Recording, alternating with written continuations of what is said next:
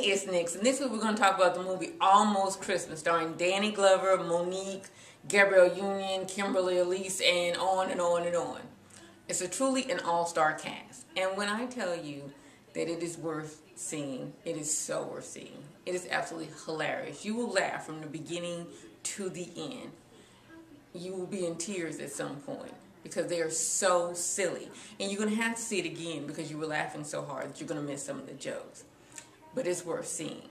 Now, I will tell you this much. The kids steal the movie. They're three kids, and they are absolutely hilarious, and they are so modern with the cell phone, sending texts with emojis and everything, which totally steal the movie.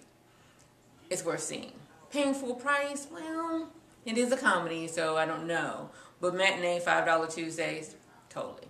And you can take the whole family. It's not over the top, anything raunchy in there that younger kids won't get. Now, I don't know if I take a little, little child because they might be a little bored since it's not animated. But a kid 10 and up, they'd have a good time and get some good laughs too. They'll get some of the stuff that's going on, which is absolutely great.